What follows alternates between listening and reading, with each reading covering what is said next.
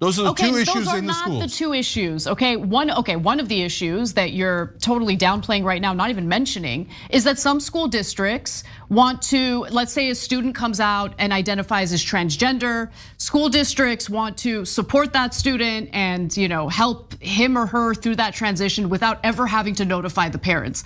I think there are issues there. Okay, and I do not begrudge parents for being concerned about that. Ana, you, you, I agree with you, but you're finding a sliver of an issue. That guy's not talking. He doesn't even know that. That all that guy knows, and not, what 98% of them know is, I don't like them teaching about gay people in school, okay?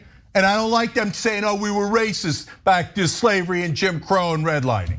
Come on, we know what it means. That's 98% of their efforts in schools. And then when he says open borders, there aren't actually open borders. What he's saying is, I don't like Latino immigrants. They don't look like me.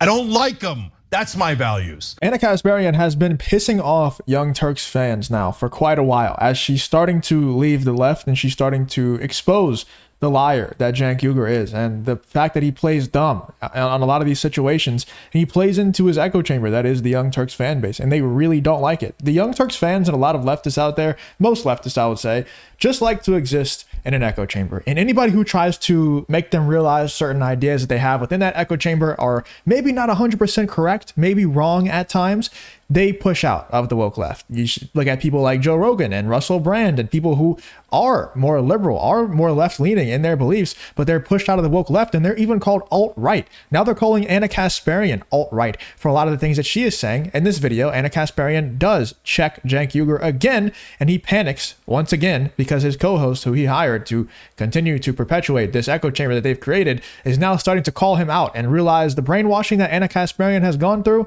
She's starting to realize that a lot of the things that she's been taught and told are completely wrong. Let's get into these clips here of Ana Kasparian destroying Cenk Uygur once again. standing on the steps of the White House and murdered someone, he'd still vote for him. Same with you? Mm-hmm. How come? I don't know. I like Trump. He just got something about him. Trump can do no wrong. That was the dominant message among some Trump supporters who spoke to our very own Michael Shure at the former president's rally in Pickens, South Carolina over the weekend. Let's watch a little more of the reaction to Michael Shure's question. There are indictments. There are there's audio tape of him with uh, classified documents, sharing them with people who weren't um, didn't have that security clearance. Does any of that bother you? No, I think they've been after him so long that all of this is just a witch hunt, like he described it. I don't think there's anything Trump's done wrong. I think that the desperate opposition is just after him. I mean, they started out, you know, and they've been after him eight different ways, and they're going to keep after him until they can get him in jail, I think. It, they, they went after Richard Nixon, they went after Bill Clinton, and now the courts in several different states are finding different things about Trump. Is there anything that could happen with him indictment wise that would say, all right, maybe this disqualifies him for president? Not for me. I'm with him to the finish. All right, thank you so much. He could stand on the front steps of the White House and, and commit murder, and I'm with him. No, that, that that's pretty crazy. I'm I'm not gonna lie. That's a little crazy. Um there are some things, and I know a lot of people might get mad at me for this. There's definitely some things that Trump could do to make me not want him to win, you know, and, and to say that there's nothing he could possibly do to get him to make, you know, to make you not support him, to make you not vote for him. It's pretty crazy. You know, people are capable of some pretty dark things. So that's a pretty crazy statement. But I know they're probably just being, you know, a little bit, they're probably being a little bit hyperbolic with the whole thing. These even might be paid actors to make the right look like idiots. Who knows? Who knows nowadays? So, what I found interesting about that video is on one hand, when he's referring to the Trump indictments, he's kind of repeating what he's heard in right wing media about how there's no there there, you know, these indictments um, mean nothing, there's no evidence of him engaging in any wrongdoing. And I do think that uh, that statement is the product of his media filter bubble. However, with that said, he also admits that if Trump committed murder, he would still support him. And so that goes against, you know, what my belief is. Technically, if he commits murder, that would probably make him more fit to be a US president, right? I mean, all the other ones have done it a lot. a lot more than just once. is in regard to most Trump supporters who just it's not that they support his criminality, it's just that they don't believe his criminality to be true. But in this particular case, clearly this supporter doesn't really care too much about potential criminality or if he literally committed murder, which blows my mind.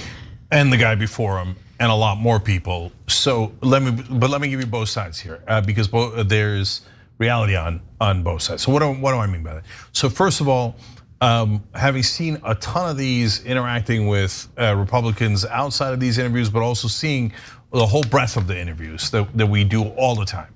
Uh, first of all, not all Republicans think that way. Um, and so it's easy to say, okay, they're all the same, and which, by the way, they think of us too, right? And so I have seen slightly more moderate Republicans, and certainly I've seen plenty of Republicans who would say, well, if he was on tape and he killed someone, yeah, that's too much, right?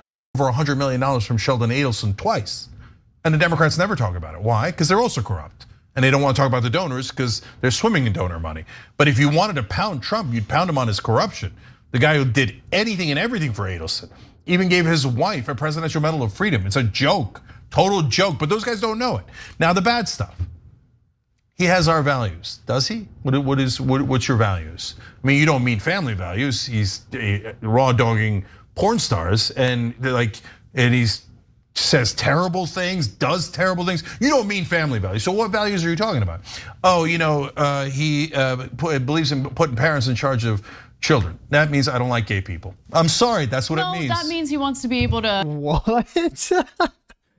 Wait, hold up. Uh, what did he just say? Did Cenk just say wanting parents in charge of children means you hate gay people? Dude, dude these people have become caricatures of themselves. They're they've become like South Park versions of themselves. Let me rewind that real quick. And he's says terrible things, does terrible things. You don't mean family values. So what values are you talking about? Oh, you know, uh, he uh, believes in putting parents in charge of children. That means I don't like gay people. I'm sorry, that's what no, it means. that means he wants to be able to make a decision or help. A decision about want, what? He doesn't want schools making decisions for about his what? kids. About gay people.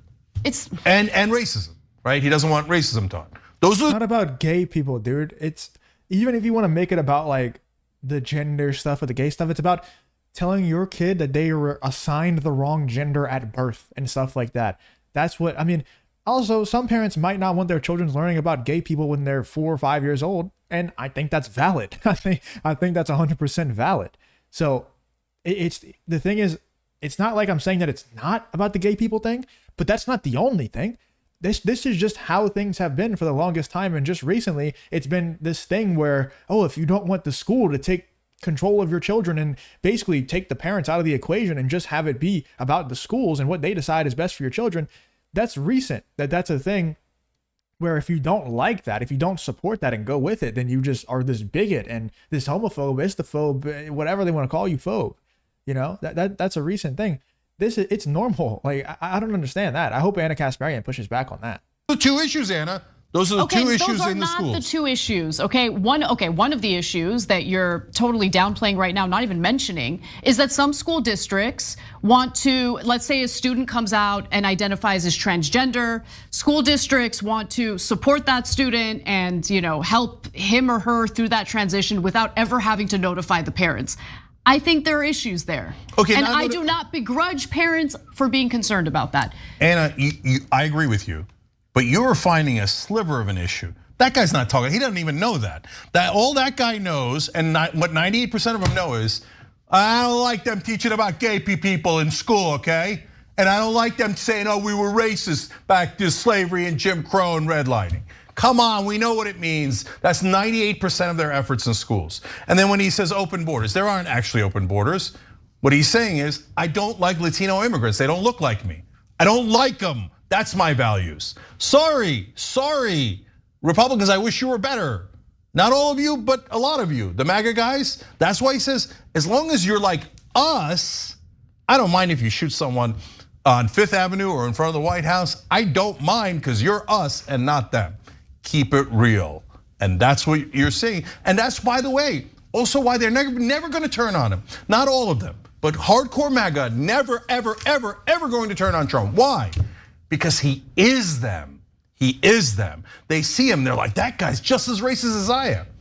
Oh, I like it. DeSantis has an ad out now about how much he hates gay people more than Trump does. And that's that might hurt him because they're like, oh, I thought Trump hated gay people as much as I do, right? So when he says values, he means the opposite of values. I watched all the tapes. All of them say he's like us, us, us, us, us. They don't mean all of us. They mean, and when you ask them about the issues, they always go to, I don't like Latinos, I mean immigrants, I don't like gay people, I mean, I want parental control in schools. So that's the reality. You can see it all over the tapes.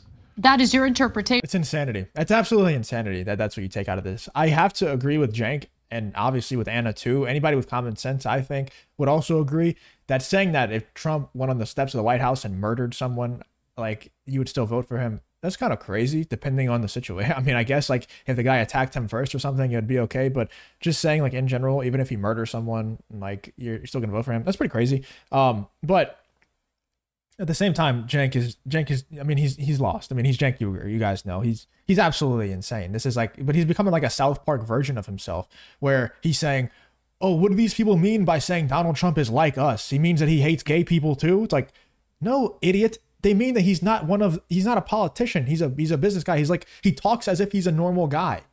That's what they mean. He's not one of the world elites like a lot of the other candidates are. He's not connected with those groups of people. He is hated by them. He is they're trying to throw him in jail constantly. That's why he's one of us because they don't like him. He's not part of that club. That's why he's one of us. Not because he hates gay people. Like what are you talking about, dude? I'm telling you, it's like a South Park episode. None of that was actually said. It is what you have taken out of his statements there. You're right. Like, yeah. Okay. Okay. Right, and, and, hey, by so the way, guys. That. Oh, by the way, guys, you guys all be the judge. Just okay? like anyone can watch the statements you made in regard to the story out of Israel today and say, uh -huh. you know, I, he said what he said, and I could either take what he said at face value or just put words in his mouth and call him an anti-Semite. That would infuriate you, no? Ana, okay, look, we have a different interpretation. Okay, okay? we have a different. I saw look, the tape. I don't agree. I've seen a hundred tapes. I don't agree with that guy. Let me be clear about that. Okay, but putting words in his mouth. I know a lot of you see channels like this one and it probably makes you want to start your own channel exposing the woke cult and maybe even replace your job with it eventually. If you don't know, I'm actually a YouTube strategist and I specialize in growing channels within this exact niche. I actually own a few other channels in this exact space that I never appear on that I just handle the behind the scenes strategy for that you probably watch pretty regularly and I also work with a lot of larger names in the space to help them grow their channels. My main goal with this whole thing is to help equip good people with the skills that it takes to grow their channels, grow their voice, and expose the evils in the world. So if you want to know exactly how I grow my channels and my clients' channels so quickly, you can actually steal my exact strategy with the link to a YouTube video in the pinned comment on this video. I break everything down in that video in the pinned comment, so go check it out. Let's get back to the video. I think is unnecessary. You can actually address what he said there without extrapolating and implying that he said something that he didn't actually say there. So what, what's the benign interpretation? He's worried about taking jobs when we have 3.7 unemployment, record unemployment. He's not worried about losing jobs. He's worried about losing you, his you culture. Up, you just straight up said, you just totally disregarded everything he said. No, I didn't. I went exactly on what he said. You boiled it down to he's just racist. That's what you boiled it down because to. that is what he's saying. Okay, that's your interpretation. What do you think? There's a lovely interpretation of open borders and People, these goddamn immigrants coming in. They genuinely think there are open borders. Okay, anyway, whatever. And then what's the open borders do? What does it do? What does it do? Does they, it take our jobs? It doesn't think, take our jobs. They think drug traffickers and MS-13 are pouring into the country and causing crime and violence. I mean, they they, they low key are. you know, like this isn't some conspiracy theory. We're seeing like there's a lot of horror stories that come out with innocent people who are just biking down the street get murdered and all of a sudden it comes out oh they came in through the through the border illegally by the way but we're not allowed to call them illegal immigrants we got to call them i don't even know what the hell we got to call them anymore according to the borders are kamala harris Anyway, Ana Kasparian can be based at times. It's unfortunate that she doesn't, she does, she's not like this all the time. I see that she's starting to wake up a little bit, and I wish she would just go all the way and just wake up completely and maybe like leave the Young Turks and start her own thing and just be entirely based. But uh, you know, maybe she's under contract or something, so she can't go all the way right now. But let me know in the comments what you think about this debate here with Ana Kasparian and Cenk Uygur. With Ana Kasparian checking Cenk Uygur live. I thought it was, you know, it's, it's pretty based. Let me know in the comments what you think about this whole Ana Kasparian versus Cenk Uygur on the Young Turks situation.